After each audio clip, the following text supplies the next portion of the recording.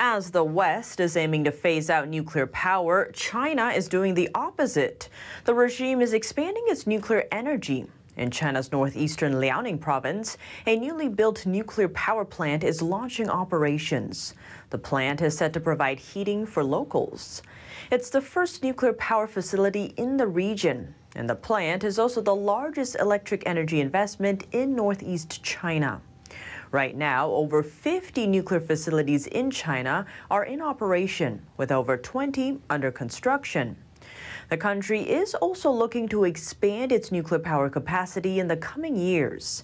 The president of China's Nuclear Society said the country may approve six to eight new nuclear plants every year.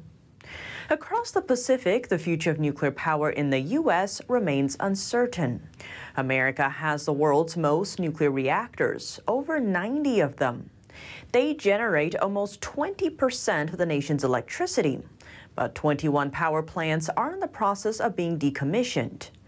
Two new reactors are under construction, but some companies that have the licenses to build the plants haven't moved forward. Across the U.S., different states have different political sentiments about nuclear power.